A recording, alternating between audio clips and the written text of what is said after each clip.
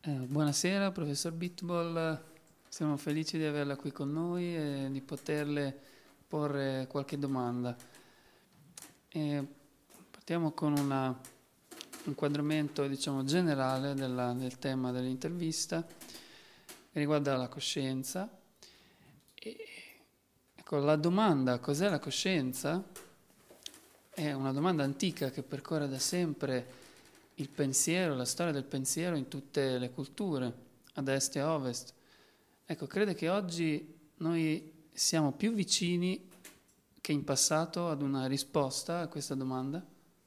Beh, siamo più vicini in un modo che è un po' paradossale, perché eh, abbiamo creduto da tanto tempo che, vuol dire nel secolo che ha preceduto, che si poteva eh, buttare luce sul problema della coscienza ehm, avvicinandolo con il problema della biologia, del, della, della, nascita di un'organizzazione, per esempio, eh, temporale nel, nel, cervello. E progressivamente si è, si è, visto che anche se i progressi in, questo, eh, in, in questa linea sono veramente straordinari, non riusciscono a, a chiarire qualunque cosa veramente importante riguardando la coscienza. Chiariscano dei problemi che si dicono facili, come si può eh, far passare una persona da uno stato di coscienza sveglia a uno, uno stato di oppure non coscienza oppure coscienza completamente elementare, ma il problema dell'origine fisica della coscienza sembra più oscuro oggi di mai. E perché sembra più oscuro? Perché precisamente perché si sa più e più, di più in più di cose sui problemi detti facili, allora si vede a che punto quel problema dell'origine della coscienza è veramente una cosa che è, è talmente diversa dall'approccio scientifico che non, non c'è veramente una, non si vede una possibilità di fare progressi veramente decisivi in questo campo. Infatti, proprio riguardo alla scienza, ecco, ci interroghiamo sul ruolo che, che, può avere nel rispondere a domande che sono diciamo, implicate nella ricerca sulla coscienza, come potrebbe essere, ecco, io sono il mio cervello, oppure c'è vita dopo la morte, o anche la vita ha un senso. Ecco, quindi secondo lei in, affront- nell'affrontare queste domande, ecco, quale può essere il ruolo della scienza? E c'è forse posto per altre discipline di indagine su questo ambito? Certo, per, per esempio sul problema che hai posto, eh, io sono la mia coscienza eh, o no, eh, è un problema che veramente è, è, posto o sollevato, non so come si dice, eh, in, un modo, in un modo che è veramente per, per principio completamente al di fuori di quello che può fare la scienza. Quando dico io, io è un, il tipo della parola che la scienza non può accettare. La scienza ha come principio di escludere tutti, tutte le caratteristiche di situazione, eh, come io, adesso, ora, ehm, qui, e, e di, di concentrarsi sugli invarianti uh, di, di, questi, di, queste situazioni, vuol dire sulle cose che non cambiano quando si cambia la, la sua propria uh, identità, la sua propria uh, posizione nello spazio e il suo tempo. E dunque quando si pone queste questioni, queste domande, uh, si è già al di fuori delle possibilità di principio della scienza che ha come basi l'oggettività. Quindi, eh, diciamo, quale disciplina invece potrebbe eh, aiutarci ad, ad, approcciare, a rispondere a questo tipo di questioni, secondo lei?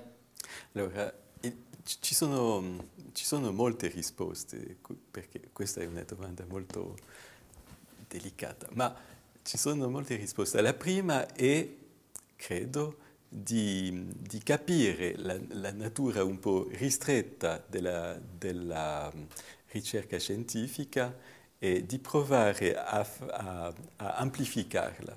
Vuol dire non abbandonare completamente l'impresa scientifica, ma provare a allargare un po' il, i suoi principi metodologici. Per esempio si può dire, ok, la scienza normalmente, come ho detto, è, è, eh, ha come principio di buttare via completamente le caratteristiche situate e provare soltanto a vedere quel che non cambia. Ma può anche provare a vedere se non ci sono, um, ci, non ci sono cose che si può comunicare e che si può uh, dire quasi identiche da una situazione all'altra, da, da, dalla vista situata di una persona alla vista situata di un'altra persona.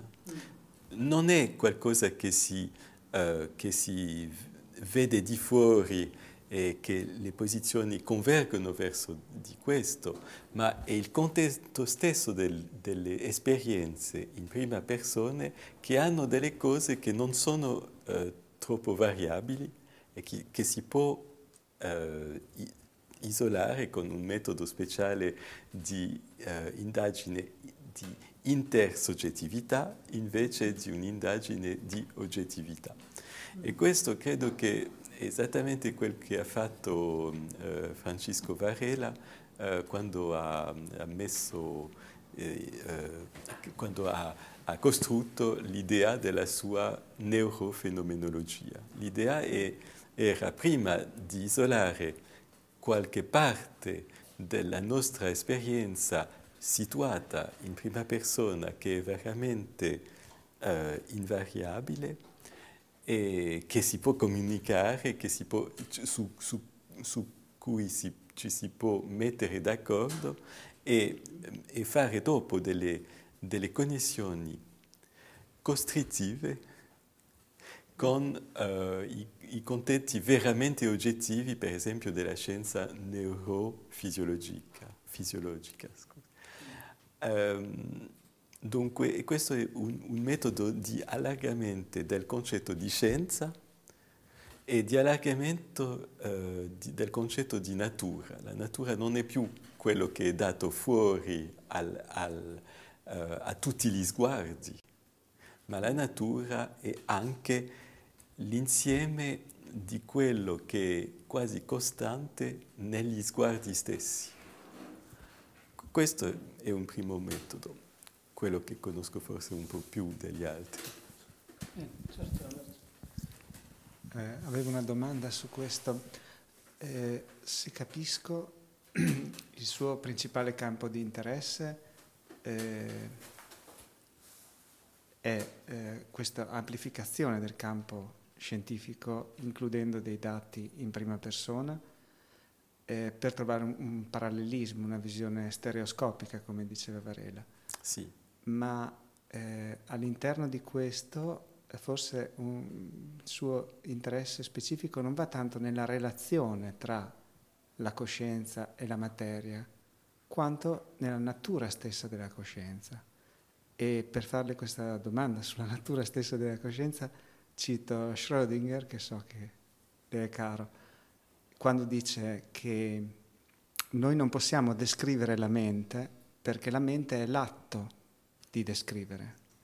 Sì, ecco. sì qualcosa così. L'ha detto un po' altrimenti, l'ha detto eh, in, nel suo Mind and Matter, eh, l'ha detto dicendo che eh, così l'ego non si può vedere eh, in nessuna parte perché in nessuna parte della nostra rappresentazione del mondo perché è lui stesso la rappresentazione del mondo.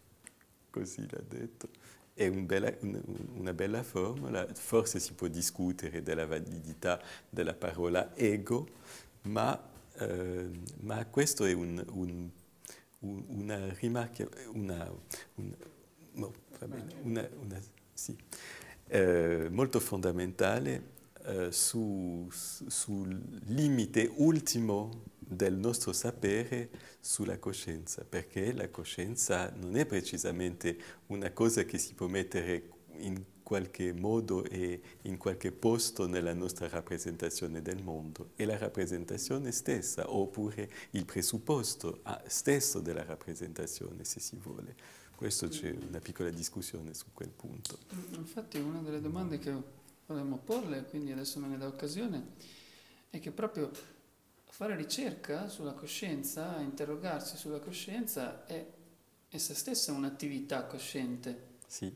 Ecco, quale, diciamo, quale primo uh, riflesso ha questo fatto sulla ricerca stessa riguardo al significato della coscienza o all'essere cosciente? Eh, questo è, una cosa molto cruciale perché vuol dire che questa ricerca è una ricerca che come Uh, per esempio Hofstadter diceva in un libro suo che si chiama The Mind's Eye, uh, è una ricerca che si, che si svolge nell'occhio del ciclone. Vuol dire no, che, che, che, ogni volta che si vuole uh, andare via di, del posto stesso della domanda, si vede che, non si, non si vede più l'oggetto della domanda allora si deve, deve, tornare al posto della domanda, non per vedere l'oggetto, ma almeno per non esserci escluso. Mm-hmm. E dunque è un, è un problema metodologico molto, molto delicato ehm, che, che, che non può essere risolto con una semplice formula o con una, uh, una risposta finale, ma può soltanto essere eh, abitato in un certo modo.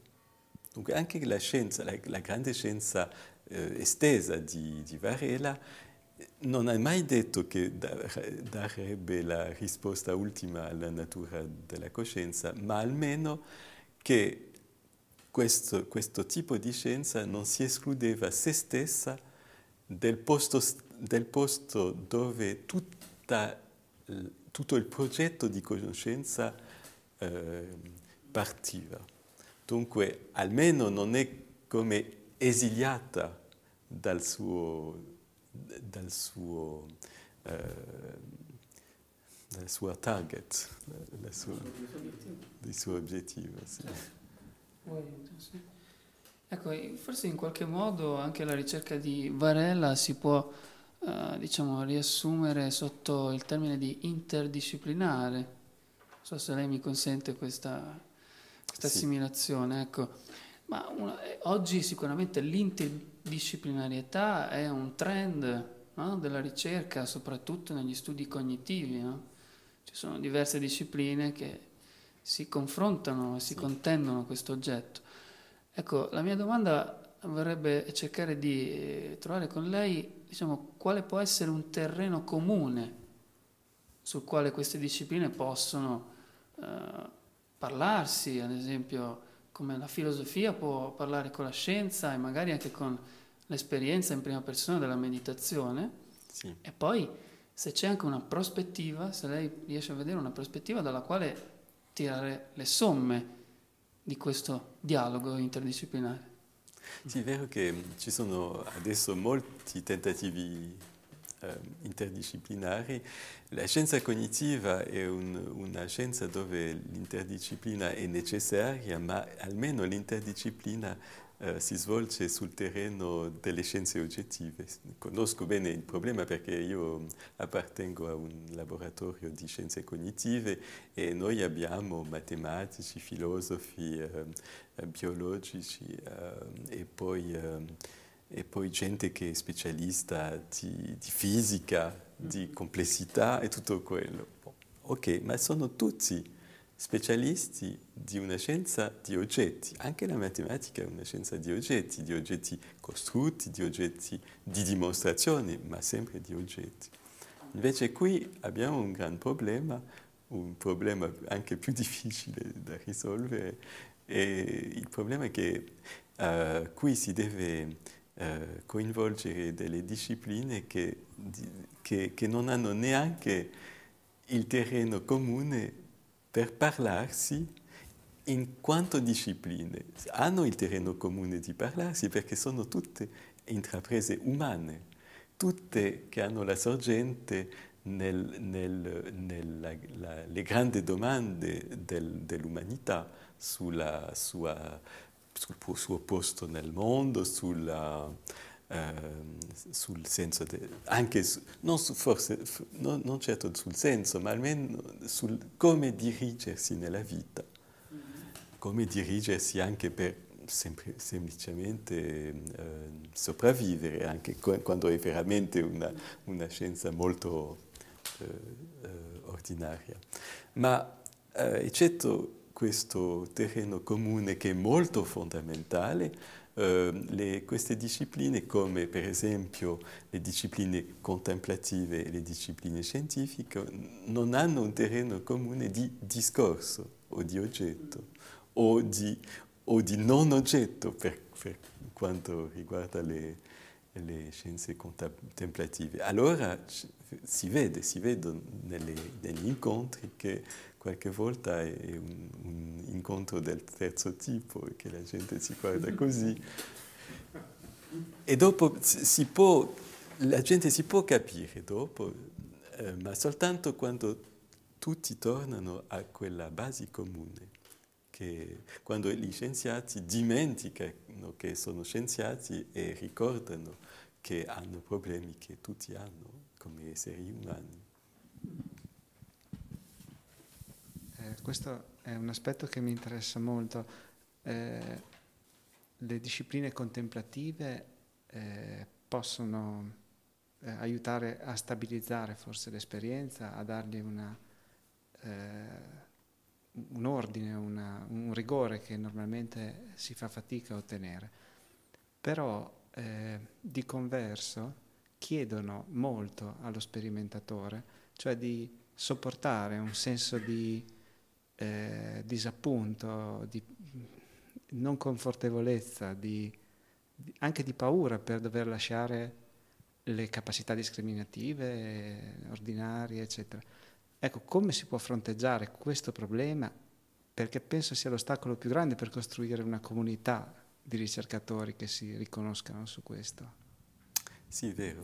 Beh, io non ho una risposta molto definitiva su queste cose perché eh, so, sto cercando esattamente come noi tutti, ma eh, almeno ho l'esperienza delle resistenze che noi incontriamo.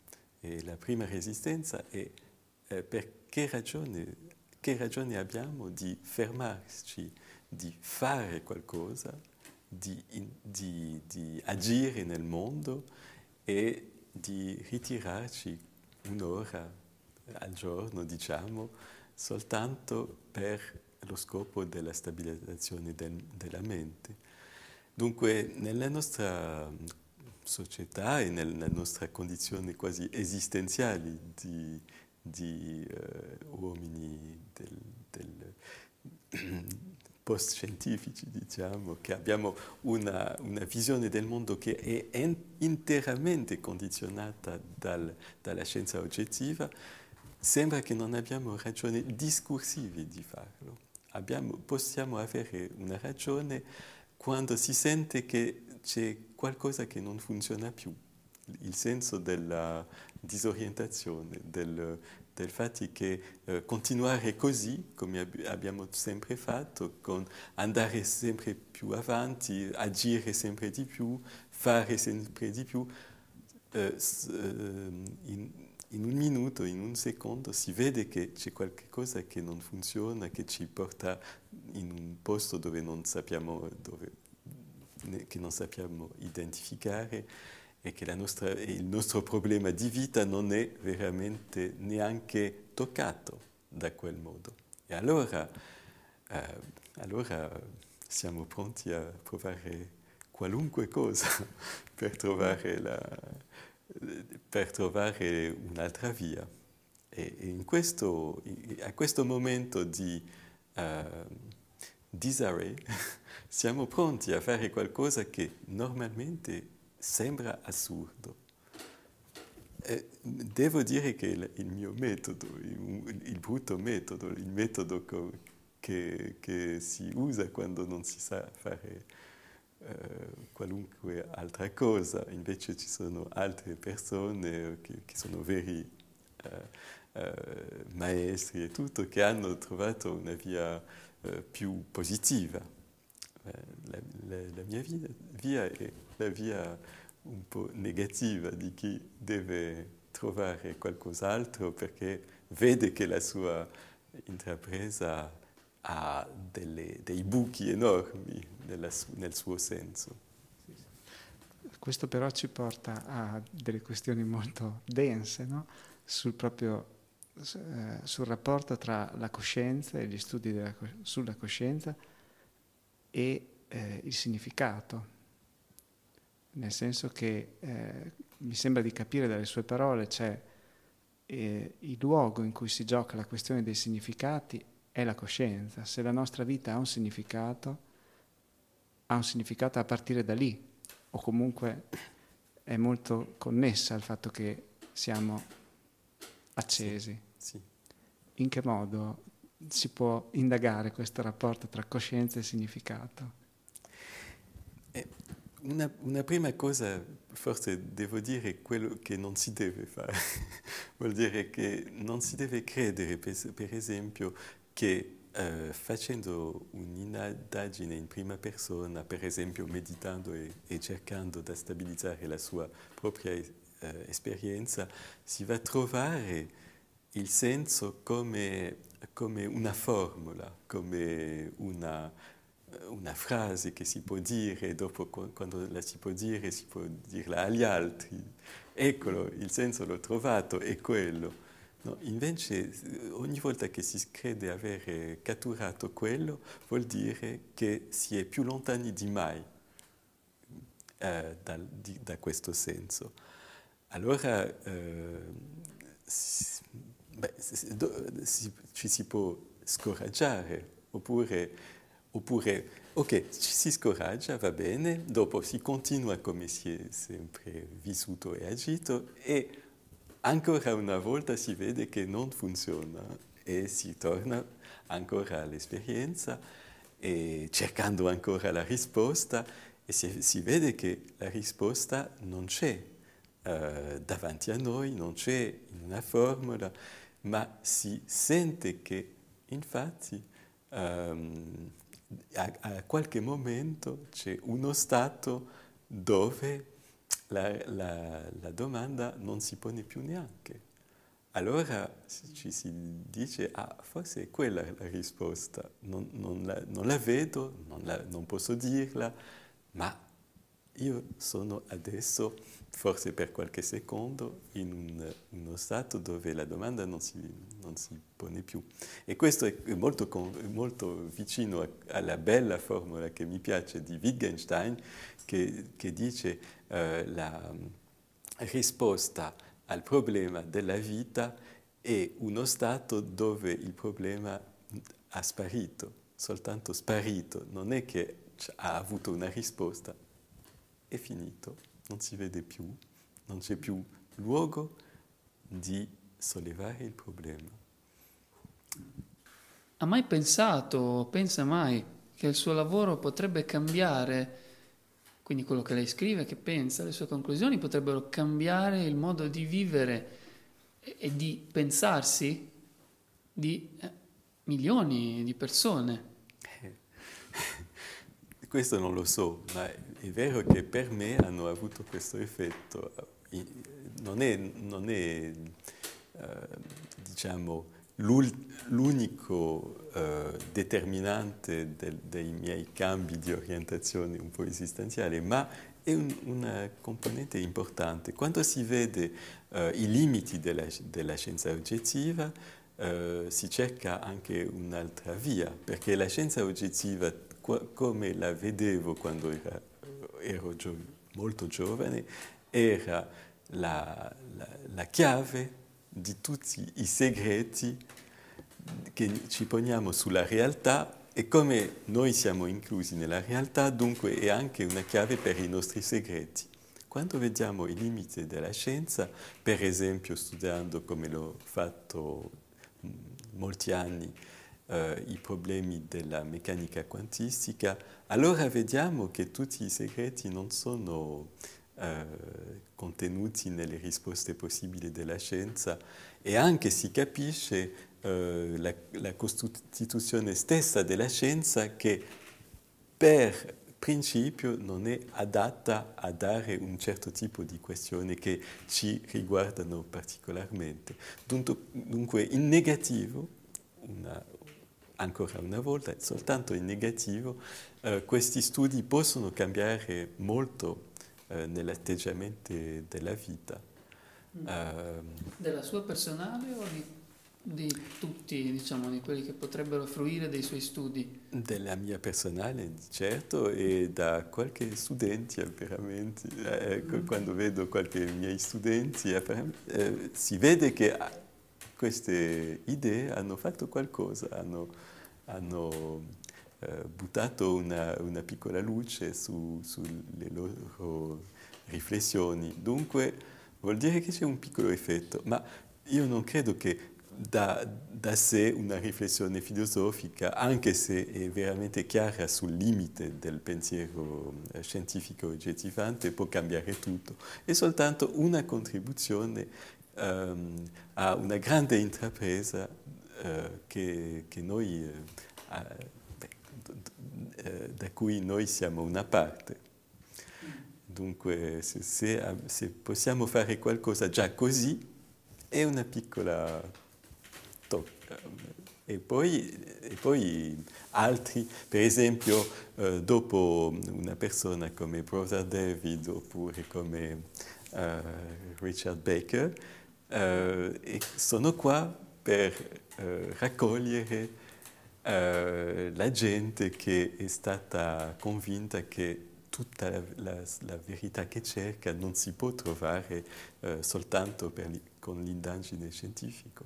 Dunque è, è, cosa, è un gioco collettivo, diciamo, come, eh, come, come, quello che si gioca adesso. Ecco, adesso le pongo una domanda che stiamo, stiamo cercando di porre un po' a tutti gli speaker, sì. che riguarda proprio l'esperienza in prima persona. Ecco quindi le chiederei se ci vuole dire, mettere a parte, condividere con noi quella che secondo lei è stata l'esperienza, diciamo il momento più importante per lei fino ad oggi. Tu, beh, ci sono tanti momenti importanti. Credo, prima devo dire che ci sono momenti importanti che, che, che, so, che percorrono la, la, la, la, vita intera. Ogni momento della vita eh, può essere uno di questi dove, dove tutto eh, cambia eh, in un istante nella percezione del mondo. Dunque ne ho avuti tanti eh, Uh, esperienze di, di, unità con una persona, esperienze di, uh, con, di contemplazione di, di, un paesaggio completamente aperto e selvaggio, vicino a una chiesa greca oppure... Eh, ma certo, beh, uno, sì, ce ne racconti uno magari con uno dei momenti... Qualche piccolo dettaglio? Il, beh, un, uno dei, dei, momenti importanti, almeno posso raccontarlo, quello perché è una cosa che è eh, bene localizzata con una persona veramente straordinaria, era l'incontro con il Dalai Lama a Dharamsala.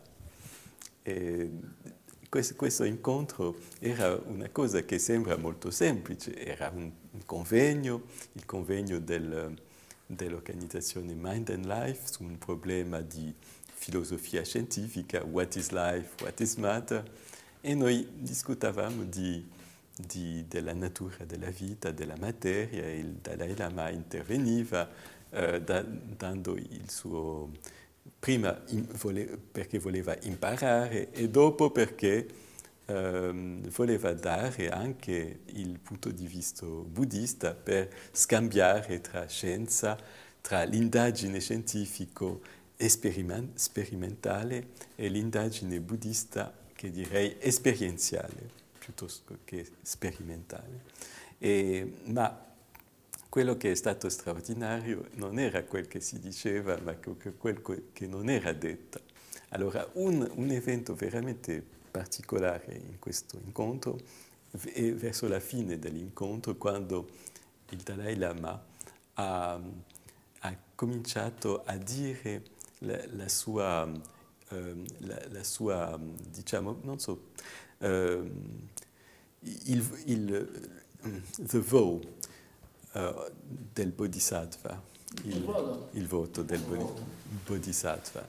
E ha detto, ha detto quello, um, quanto lo spazio durerà, conosci, conoscete questo voto, quanto spazio, lo spazio durerà, um, voglio rimanere qua per aiutare tutti gli esseri. E tutti erano pronti a piangere. Era veramente un momento molto... E subito lui ha fatto un sorriso e ha detto, e se voi scienziati avete ragione e non c'è reincarnazione, va bene, allora eh, tra pochi anni mi riposo. è, è, è, molto bene così. E, e dopo, allora c'era questa, questa eh, tendenza a piangere e tutti ridevano e piangevano e, e era una, una, uno, una, cosa veramente straordinaria dove, a, a cui eh, partecipavo, ma che era l'arte più straordinaria che ho mai visto di catturare l'emozione della gente, ma senza, um, senza volere essere un padrone di questa emozione. Il Dalai Lama non voleva prenderla per lui, non voleva che noi a, a, a, abbiamo delle emozioni per lui, voleva liberarla, voleva farla nascere e poi liberarla immediatamente. E questo l'ho sentito molto forte e mi è cambiato la vita per molte settimane, devo dire. Era un'impressione di totale um, fiducia nel mondo e nell'avvenire che, che mi, è, mi, era stata data da, da, quel momento molto eccezionale dove uh, il Dalai Lama eh, allo stesso tempo f- eh, f- suscita le cose più belle che abbiamo nostra, eh, nel, nel nostro cuore, diciamo, e, e, allo stesso tempo lo, lo, lo libera, non, non, lo lascia come una cosa molto potente che ci, che, ci, che ci ferma nella nostra vita, ma lo lascia aperto e e dunque si diventa completamente aperto eh, dopo quello.